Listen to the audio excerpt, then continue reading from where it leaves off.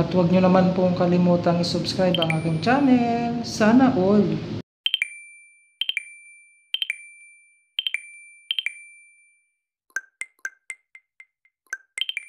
Congratulations po to all the winners.